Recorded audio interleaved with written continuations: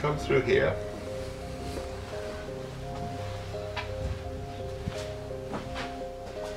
As you can see, this is the room where the fire started.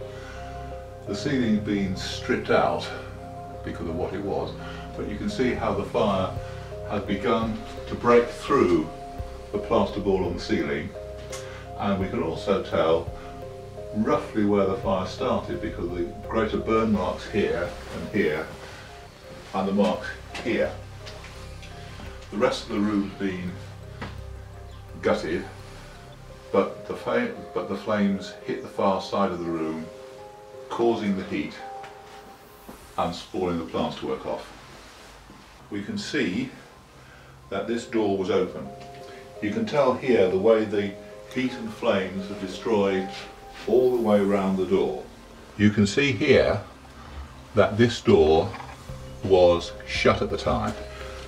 Look at the way the heat and burning has damaged that. But if we open the door, the way the interior of the door and around the frame here is still solid.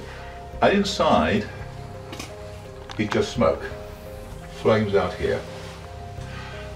That gives you the importance of having doors closed, what a door will do. This is not a fire door, this is an ordinary door, but it stopped the fire. Think what fire doors will do.